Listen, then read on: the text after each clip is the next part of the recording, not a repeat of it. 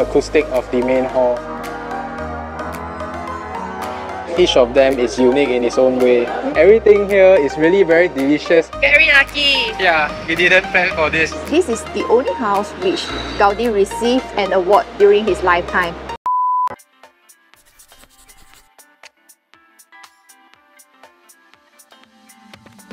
It's a brand new morning here in Barcelona and today we start our day outside of the Barcelona Cathedral.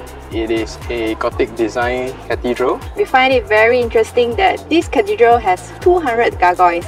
They are a representation of evil spirits and witches. It's not something you would like on a church, but yeah, they are there. And there are 200 gargoyles. Mm. We probably won't be heading in, but if you have the time, you can head in. There's an admission fee to head into the cathedral. So we will be now going to our next attraction and we will see you when we get there. Bye-bye. After a short 5 minutes walk from the Barcelona Cathedral, behind us, this 6-arm lamppost is a lamppost designed by the famous Gaudi. And this was designed by Gaudi when he was a fresh grad. The unique thing about this lamppost is that not only was it very nicely designed, it is also very durable and requires very little maintenance. And it further proves that Gaudi is a genius architect as well as a very very good designer. Mm. There's actually several lampposts in this square and this two here really stands out because it has the most lamps and it has some red iron borders. So Gaudi actually designed quite a lot of lampposts but only four of them remain today. So two of them are here and the other two is actually in an area called Pla de. Palau. The reason why we chose this instead of the other two is because this has 6 lamps and the other two only have 3 lamps. This is also very near one of the Gaudi's building called the Güell Palace so on the way there or on the way back you can actually visit this lamppost. And we will be heading to our next Gaudi attraction and we will see you when we get there. Palace Square! We are now at another attraction here in Barcelona that is designed by Gaudi. This is the Güell Palace. And we actually went in just now to visit this attraction. I feel that this building is a little bit more practical. It's not as extravagantly designed as the rest of the buildings that we have visited. And maybe it's because it's one of his initial design, that's why it's not so lavish and extravagant. I feel that the highlight of the building is at the central reception room because it has a magnificent acoustic. You can actually experience it every 30 minutes. Yeah, they will play different music while you're there and you can feel the acoustic of the main hall.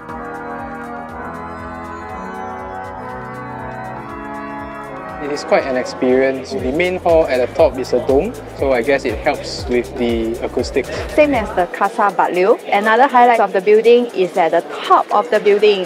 There are 14 chimneys and they are uniquely designed. Mm. Even those that are made of brick, they seem like they are of the same design, but actually they are not. Each of them is unique in its own way. I guess the most iconic one for us is one that resembles a tree. Yes. Mm. There's also a rainbow one which is quite nice. And we actually bought a souvenir, which is the chimney that looks like a tree. Yeah. It's a very nice place to be at, but like the Casa Batlló, the ventilation is not as good and there's very few aircon inside, so it gets a little bit hot during summer, so something to take note of. Especially with the crowd, it may actually spoil your experience.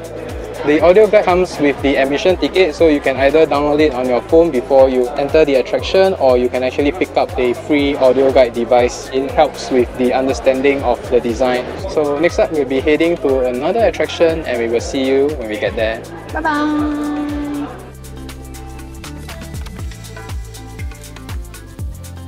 Recently, we haven't been doing a lot of food review because we didn't really eat a lot of nice food.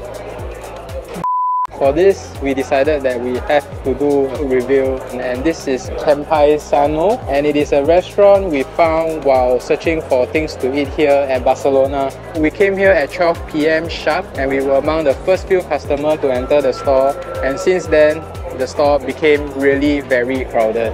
We actually researched that the pork sausage here is very nice, but we ended up buying quite a lot of stuff while we were here. We bought some kind of a burger with pork sausage. We bought another burger with have various kind of pork cuts. So it has a bacon, pork loin, and as well as some special sauce, which is really very, very good. I like the bun a lot because it's very crispy on the outside. Then we also bought a croquette, which is also really good. Everything here is really very delicious and while we were in the restaurant, we noticed that everybody bought a bottle of their rosé and it seems that it is named after their shop so we decided not to miss out on it and it really goes really well with the sandwiches as well as the croquette. So if you are in Barcelona, definitely stop by this place. They serve really really fast for the amount of crowd they have, they actually serve really very quickly. Mm. And I feel that most importantly, the price is very reasonable. Yeah, it's not really very expensive. It's quite affordable for the quality of the food. And in total, it only cost us about 14 euros for the mm. meal. Definitely, if you are nearby, stop by and visit this restaurant. It's open at 12 p.m.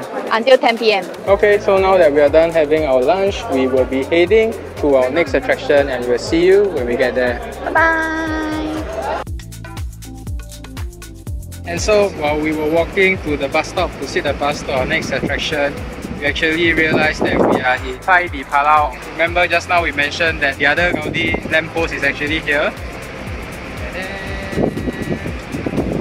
This is the three arm lamppost and there's two here. Very lucky. Yeah, we didn't plan for this. We just walked by and we saw a sign that says that this is the area and we decided to check it out.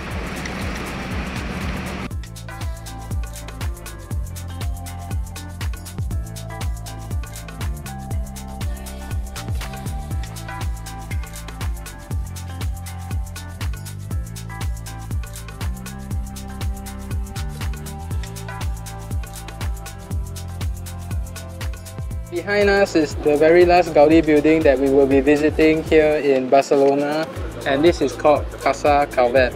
Unfortunately, it is not open for visitors because it's a private residence so you can only take the exterior. This building was built for a textile manufacturer. The ground floor and the first floor were shop lots and the upper floors are the private residences.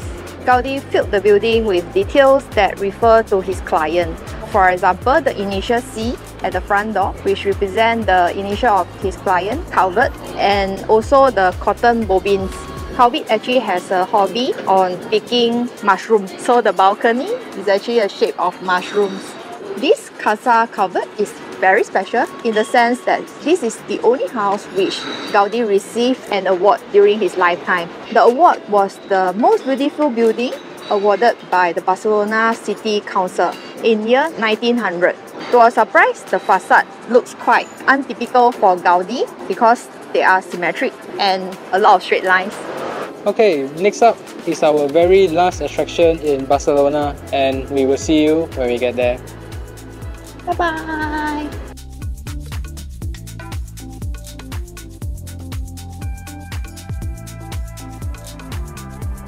Behind us is our very last attraction here in Barcelona.